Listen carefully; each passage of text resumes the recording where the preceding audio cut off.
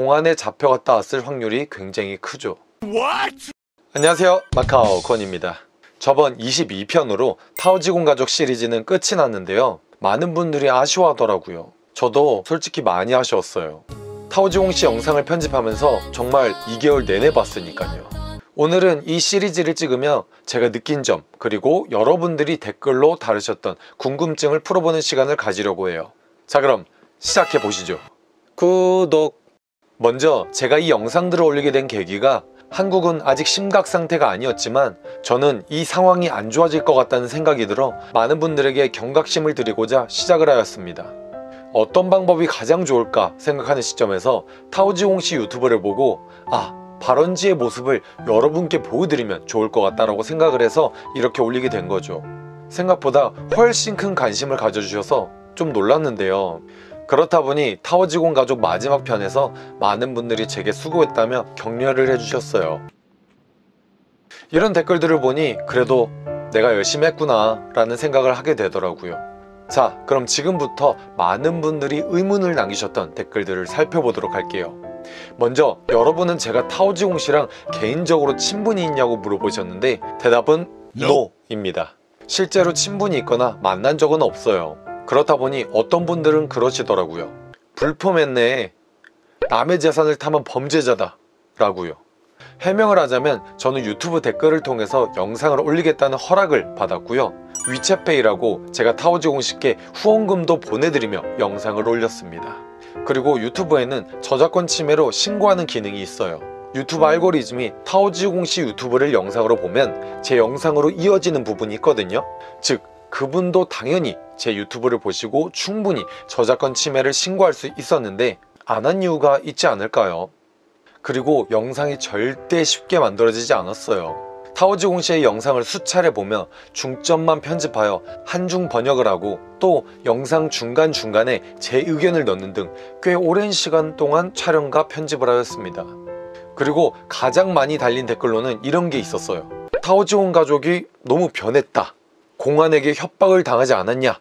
왜 이런 말씀을 많이 하셨냐면 이 가족이 처음에는 이 사태의 심각성에 대해서 많이 다루다가 갑자기 먹방 위주로 바뀐 거예요. 특히 그 당시가 한참 중국 공산당과 이 사태의 실체를 밝히려고 노력한 중국인 천추실 기자 그리고 판빙씨 등 공안에 잡혀가거나 사라지는 사건이 나왔기 때문에 충분히 의심이 되는 일이었죠 그래서 많은 분들이 이 가족도 공안에 잡혀가서 교육을 받고 풀려났기 때문에 갑자기 컨셉이 바뀐 게 아니냐고 의심을 많이 하시더라고요. 어, 여기에 대해서 말씀드리자면 저는 그분이 공안에 잡혀간지는 모르겠습니다. 하지만 저도 그분 영상을 다 보면서 갑자기 바뀐 컨셉, 긍정적인 생활 등 많은 게 바뀌었다는 걸 느꼈습니다. 그리고 추측하건대 공안에 잡혀갔다 왔을 확률이 굉장히 크죠 중국 공산당은 모든 매체를 장악하고 있고 언론 자유라는 건 있을 수 없는 일이에요. 참고사항으로 2019년 언론 자유 지수표를 보시면 중국은 북한과 함께 세계 최하위에 위치해 있죠.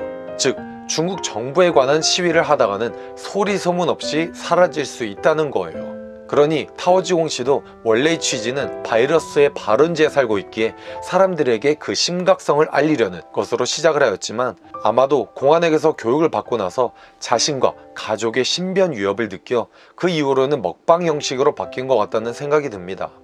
다음으로는 유튜브 통제로 어떻게 영상을 올리냐고 하시는 분들이 있는데 이것도 제가 뭐 직접 물어보진 않았어요.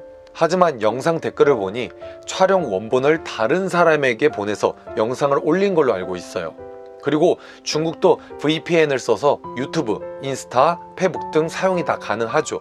하지만 중국 자체 SNS가 워낙 중국 내 장악력이 커서 VPN을 사용하는 사람들은 외국 유학생들과 현지 일부 사람들 뿐이죠. 이 외에는 이런 댓글도 있었는데요. 이분 말은 구글 코리아에서 한우라는 단어와 한우련패, 세봉 등 단어를 말하면 전부 노딱이 걸려 수익을 가질 수 없게 만들어 놨기 때문에 비판을 하는 건데요. 지금도 말하면 노딱 걸리니 거꾸로 말한 거 이해 좀 해주세요. 무튼 유튜브에서 구체적으로 어떤 단어를 사용하면 안 된다 라는 말을 명시해 놓지 않았기 때문에 초반에 저 포함 많은 유튜버들이 관련 영상을 올리면 죄다 노딱을 받았죠. 저도 바이러스 관련 영상 조회수가 다 합쳐서 200만회 정도 나왔는데 수익은 거의 없다고 해도 과언이 아닐 정도예요 저는 순전히 정보 공유를 위해 책임감을 가지고 영상을 올렸던 거죠. 자, 어떻게 궁금증은 좀 해소가 되셨나요? 한국은 며칠 동안 계속 10명 안팎의 확진자가 나와서 한숨 돌린 상태예요. 하지만 끝날 때까지 끝난 게 아니죠. 우리 모두 더욱 힘을 내서 0이라는 숫자가 만들어지도록 합시다. 제가 현재 여러 컨텐츠를 다루고 있으니 다른 영상도 많은 시청 부탁드릴게요. 잘 보셨다면 구독과 좋아요 부탁드립니다. 감사합니다.